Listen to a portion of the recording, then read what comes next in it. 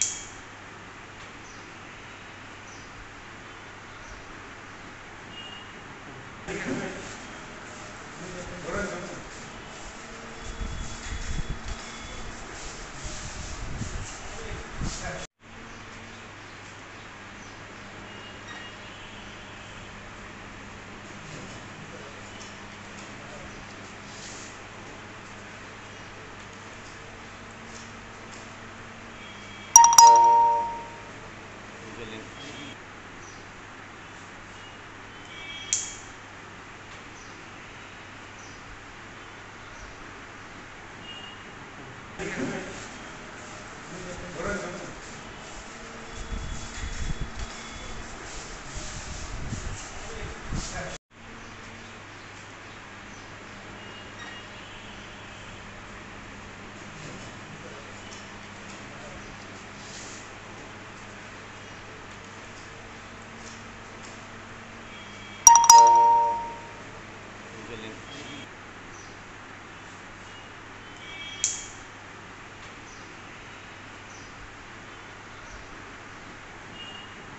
Thank you.